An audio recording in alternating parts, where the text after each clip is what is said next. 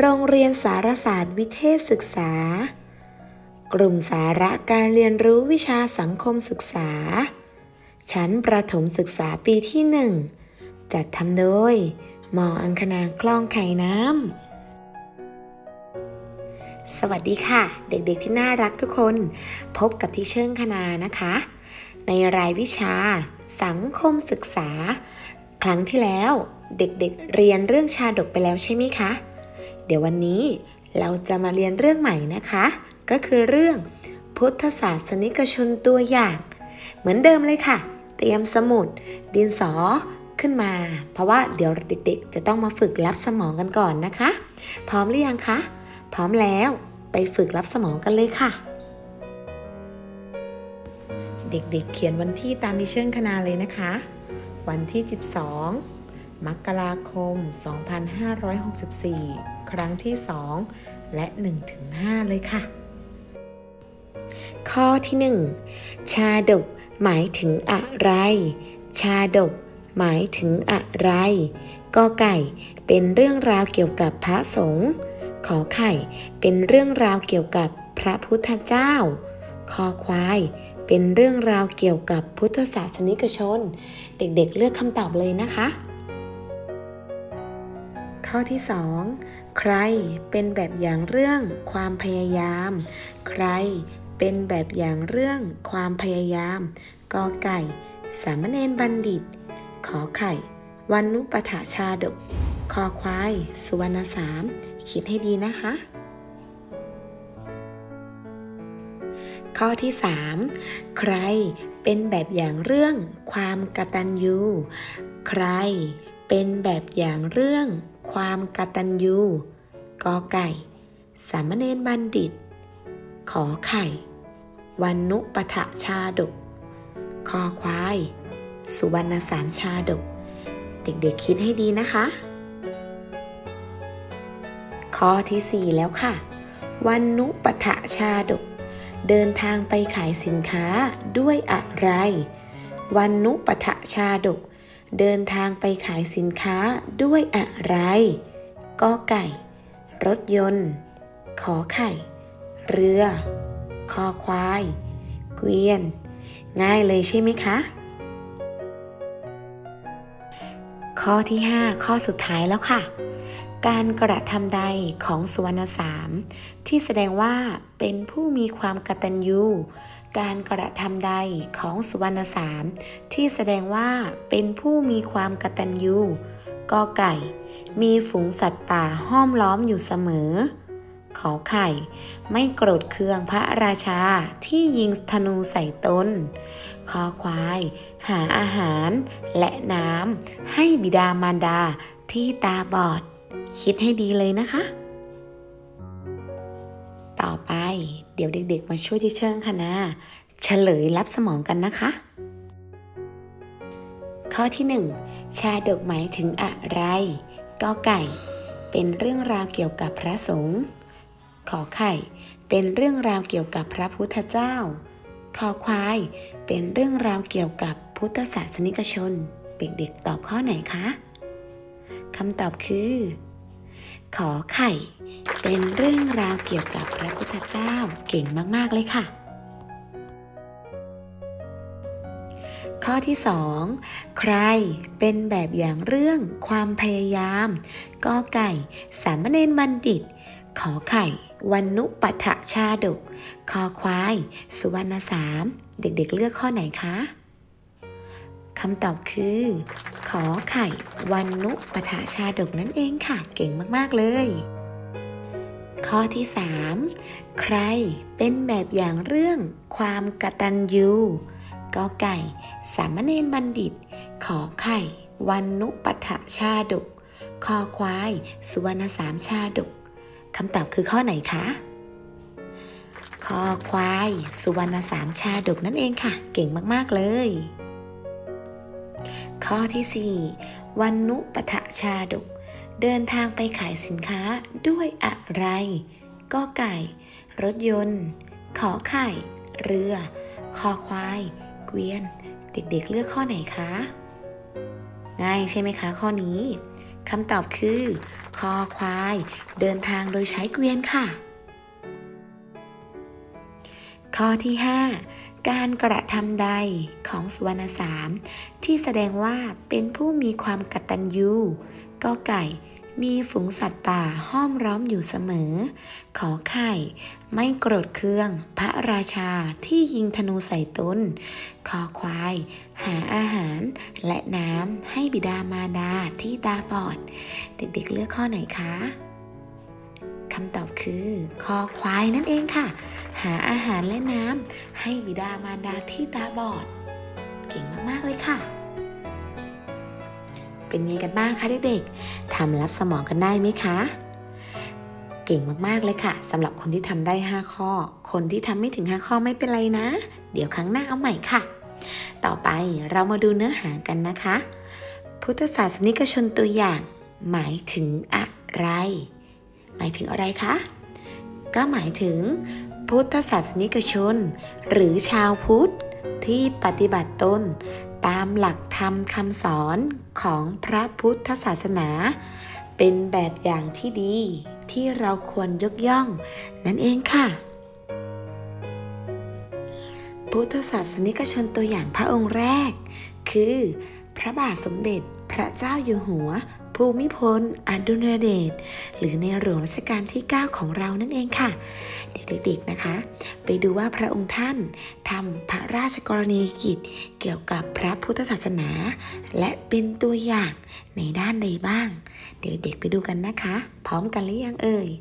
พร้อมแล้วไปชมกันเลยค่ะ นักเรียนคะ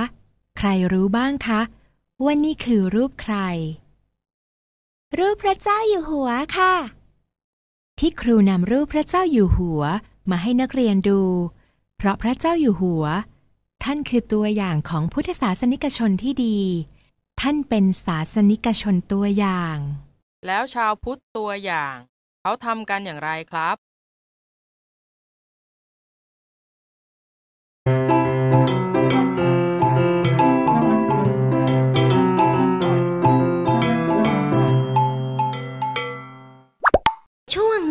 ชี้แนะ พุทธศาสนิกชนที่ดี หรือชาวพุทธตัวอย่าง หมายถึง ชาวพุทธที่ปฏิบัติตนเป็นแบบอย่างที่ดี ที่เราควรยกย่อง และนำไปเป็นแบบอย่างในการดำเนินชีวิตครับ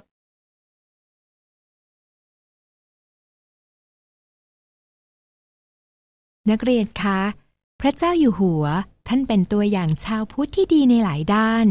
ท่านทรงศึกษาและปฏิบัติธรรมอย่างสม่ำเสมอ แต่ตัวอย่างที่ครูจะยกมาเล่า คือเรื่องความกตัญญูค่ะ นักเรียนรู้แล้วใช่ไหมคะ ว่ากตัญญูรู้คุณคืออะไร คือการรู้คุณและการตอบแทนบุญคุณค่ะ ถูกต้องค่ะพลอย การกตัญญูคือการรู้คุณ รู้จักตอบแทนคุณ ผู้ที่มีพระคุณต่อเรา เช่นพ่อแม่ของเรา ครู หรือญาติพี่น้องเป็นต้น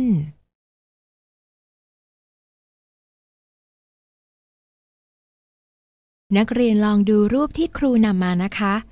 พระเจ้าอยู่หัว พระองค์ท่านทรงงานหนักตลอด ทรงห่วงใยดูแลสมเด็จย่า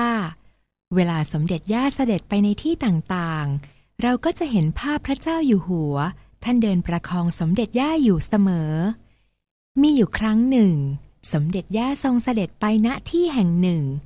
ถึงแม้ว่ามีทหารองครักษ์ และพยาบาลที่คอยประคองสมเด็จย่าอยู่แล้ว แต่พระเจ้าอยู่หัวทรงตรัสว่า ไม่ต้อง คนนี้เป็นแม่ของเรา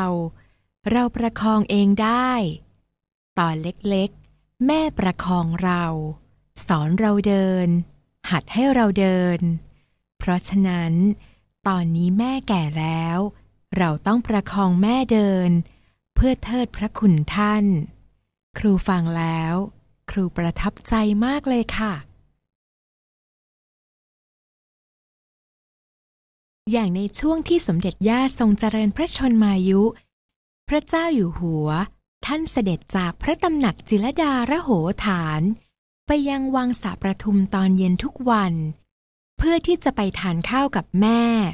ไปคุยกับแม่ สัปดาห์ละห้าวัน ซึ่งทำได้ยากมาก เพราะพระองค์ทรงมีโครงการเป็นร้อยเป็นพันโครงการ แต่ยังคอยแบ่งเวลามาดูแลแม่ได้มากขนาดนี้ ด้วยเหตุผลนี้ล่ะค่ะ จึงทำให้พระองค์เป็นกษัตริย์ยอดกตัญญูและถือเป็นพุทธศาสนิกชนตัวอย่างอย่างแท้จริง ยังมีภาพแสดงความกตัญญูของพระเจ้าอยู่หัวอีกมากมายเลยนะคะ ภาพนี้ก็น่าประทับใจค่ะ ภาพนี้ก็แสดงให้เห็นถึงความกตัญญูนะคะ ภาพนี้เป็นตอนสมเด็จย่าประชวร พระเจ้าอยู่หัว ท่านทรงดูแลไม่ห่างเลยค่ะ สมกับเป็นชาวพุทธตัวอย่างจริง ๆ ค่ะ ภาพนี้ก็แสดงถึงความรักที่พระเจ้าอยู่หัวมีต่อสมเด็จย่า เห็นแล้วซาบซึ้งใจจริง ๆ ค่ะ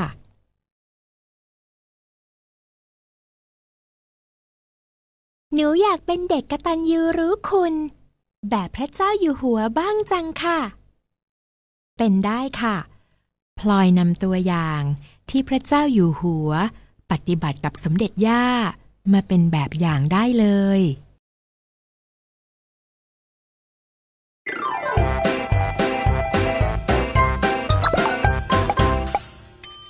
ร่วมด้วยช่วยคิด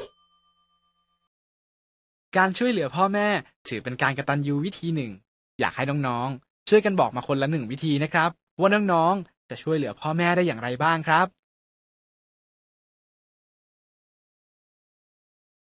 เป็นอย่างไรบ้างคะน้องๆ เห็นภาพพระเจ้าอยู่หัวที่ครูการดานำมาให้เพื่อนๆดูที่ห้องเรียนแล้ว บอกได้เลยค่ะ ว่าพระองค์เป็นชาวพุทธตัวอย่างจริงๆ แม้จะทรงงานหนักเพียงใด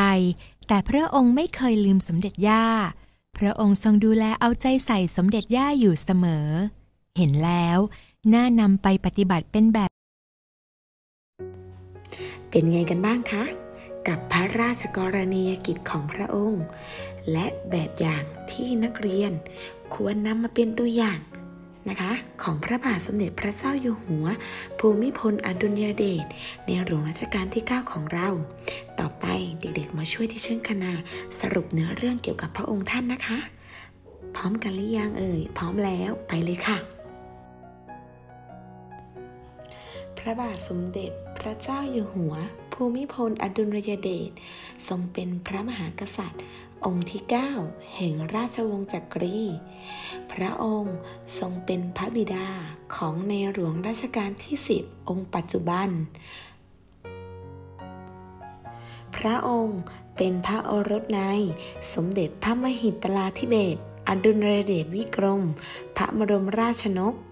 กับสมเด็จพระศรีนครินทร์ตราบรมราชชนนี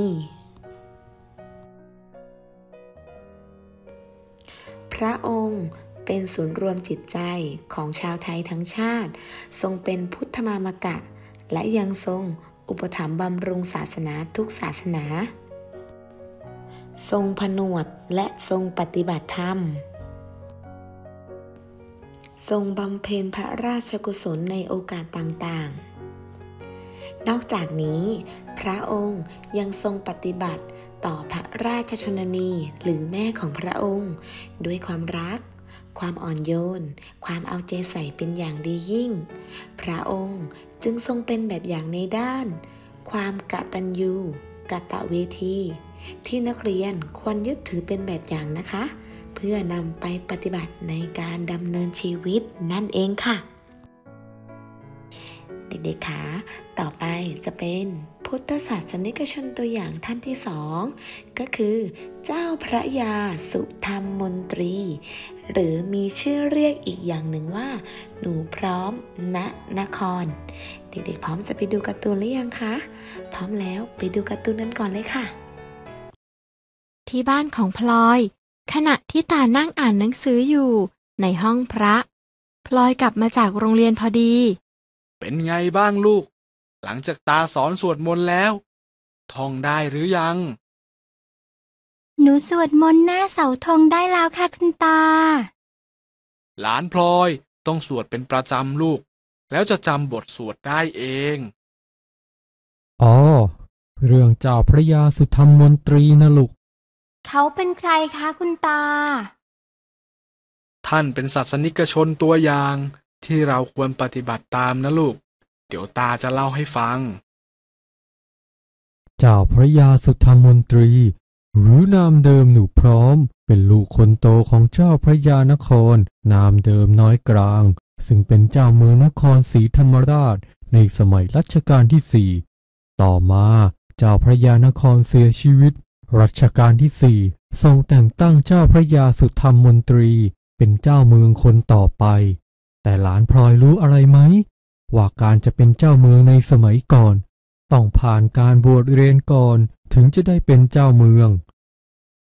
อย่างนี้เจ้าพระยาสุธรรมมนตรีก็ไม่ได้เป็นเหรอคะ ไม่เชิงหรอกลูก เจ้าพระยาสุธรรมมนตรีก็ต้องไปบวชเรียนก่อน พอเจ้าพระยาสุธรรมนตรีมีอายุครบที่จะอุปสมบท ท่านจึงบวชและพำนักอยู่ที่วัดพิชัยยาติการาม ท่านมีความศรัทธาเลื่อมใสในพระรัตนตรัยมาก ท่านทำความดีและสวดมนต์ไหว้พระเป็นประจำสม่ำเสมอ แต่แล้วมีอยู่วันหนึ่ง ขณะที่เจ้าพระยาสุธรรมมนตรี สวดมนต์อยู่ที่กุฏิแต่มีคนร้ายยิงปืนเข้าไปในช่องฝา ซึ่งเป็นจังหวะเดียวกับที่ท่านกำลังก้มลงกราบพระพอดีทำให้ท่าน รอดตายจากการถูกยิง นับเป็นอานิสงส์ที่ท่านได้รับจากการสวดมนต์เลยละหลานพลอย ต่อมาเมื่อท่านลาสิกขาบทแล้ว ท่านก็ได้รับตำแหน่งเจ้าเมืองนครศรีธรรมราช ในขณะนั้น เมืองนครศรีธรรมราชมีโจรชุกชุม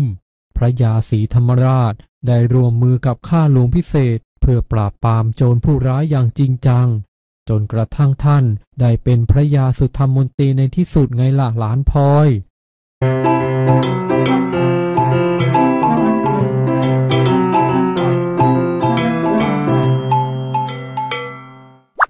ช่วงนี้ชี้แนะ น้องๆครับคำว่า อุปสมบทก็คือการบวชเป็นพระ ส่วนการลาสิกขาบทก็คือการศึก หรือการลาจากการเป็นพระนั่นเองครับ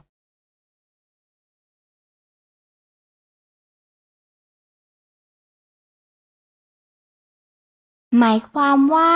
ถ้าเราสวดมนต์ก็จะรอดตายเหรอคะ ไม่ใช่หรอกหลานพลอย อย่างเรื่องที่ตาเล่า บางคนอาจจะคิดว่ามันเป็นเรื่องบังเอิญ ที่เจ้าพระยาสุธรรมมนตรี ก้มลงไปกราบพระพอดี แต่จริงๆแล้ว เป็นเพราะท่านทำความดีอยู่เป็นประจำ ความดีที่ทำนั้นจึงส่งผลช่วยคุ้มครองท่านให้ปลอดภัย หลานพลอยก็เหมือนกัน ถ้าหลานพลอยทำแต่ความดี ความดีก็จะคุ้มครองหลานพลอยนะลูก